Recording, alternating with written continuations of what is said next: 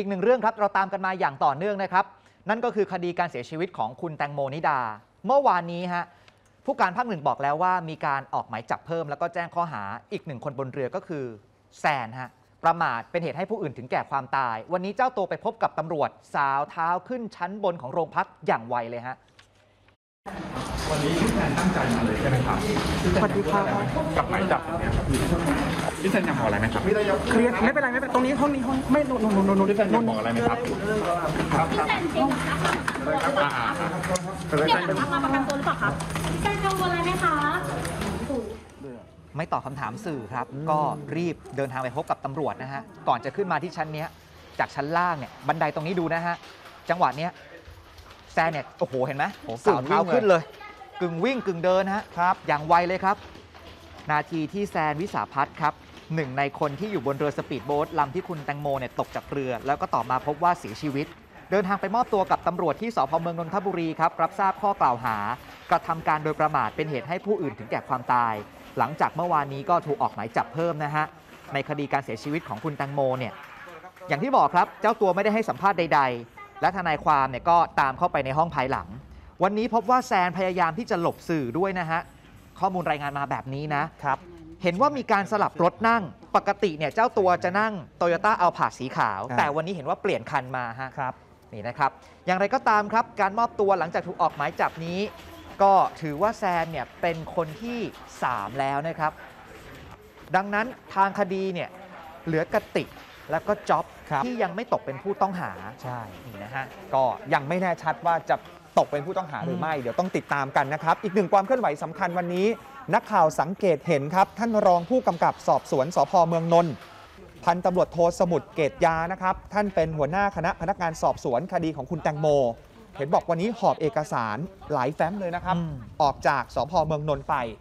นักข่าวพยายามจะถามว่า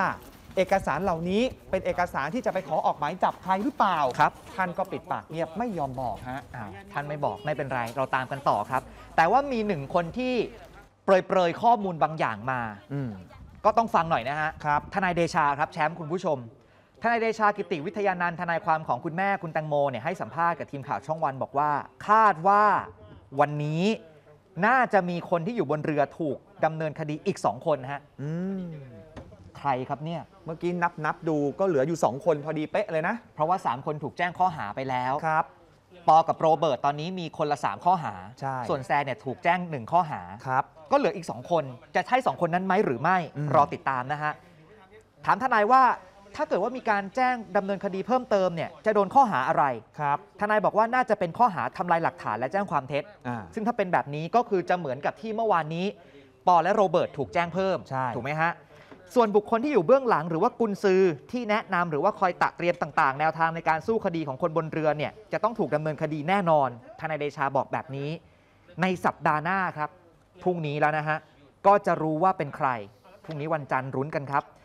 ทนายบอกว่าเชื่อว่าตำรวจใกล้จะปิดคดีแล้ว ฟังคำยืนยันฮะอาทิตย์หน้าอาทิตย์หน้ารวบรวมพยานหลักฐานแล้วเดี๋ยวเขาจะดำเนินคดีกับพวกกุญซือทั้งหลายนะครับมีความรู้ทางกฎหมายแต่ก็ ไปเสี่ยมสอนไปจ้างวานใช้ให้คนเอ่อแจ้งความเท็จ ให้คนทำลายหลักฐานเอาขวดเอาอะไรทิ้งนะเนี่ยก็จะโดนหนักนะครับคดีพ่ออืมมันจะสิ้นสุดช่วงนะเวลาไหนก็ก็อาทิตย์หน้าก็น่าจะ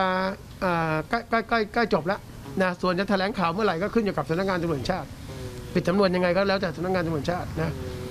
แต่แฮปปี้ไหมนะก็คิดว่าทุกคนก็มีความสุขนะมันคดีไม่ถึงฆาตกรรมไม่มีพยานหลักฐานเนี่ยอืมไม่เห็นคนฆ่าไม่เห็นอาวุธไม่อะไรต่างๆมีแต่ศพ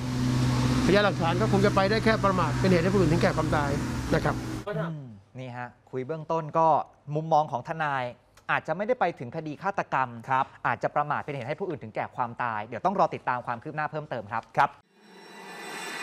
สวัสดีครับ ผมจัดทีมะอย่าลืมกดไลค์กดแชร์กด subscribe YouTube ข่าวช่องวัน จะได้ไม่พลาดทันข่าวทันทุกเหตุการณ์ เปิดเผยทุกความจริง จากทีมข่าวช่องวันเข้าถึงข่าวเข้าถึงคุณ